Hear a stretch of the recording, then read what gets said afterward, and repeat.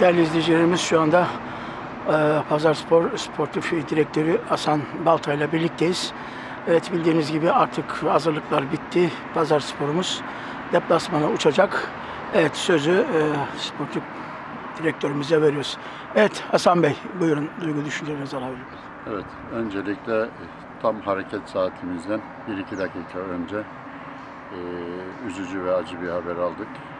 Genel kurul üyemiz ve takım kaplanlarımızdan Hacı Şükrü Çiçek'in babası, e, arkadaşımız, dostumuz Ender Çiçek'i kaybettik. E, Ender Çiçek'e Allah'tan rahmet, oyuncumuz, kaptanımız Şükrü'ye ve tüm ailesine sabır ve başsağlığı diliyorum. 2024-2025 sezonunda tüm futbol ailesine, futbol camiasına sakatlıksız, hayırlı, uğurlu olmasını diliyorum. Teşekkür ederiz. Sezonu e, 22 Temmuz tarihinde açtık. E, Az sayıda oyuncumuz ile başladığımız sezonda gelinen noktada profesyonel takımımızda 23 sayısına ulaştık. Bu 23 sayısına ulaşırken 14 tane dış transfer yaptık. 4 tane genç oyuncumuzu, altyapıdan genç oyuncumuzu ilk kez profesyonel yaptık.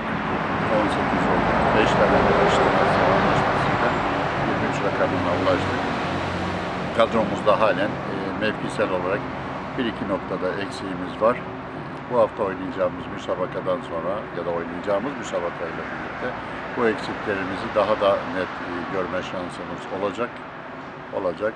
Bu anlamda İstanbul'da Küçükçekmece Sinop Spor müsabakası pazar günü e, 8 Eylül 2024 Arnavutköy stadında e, oynanacak.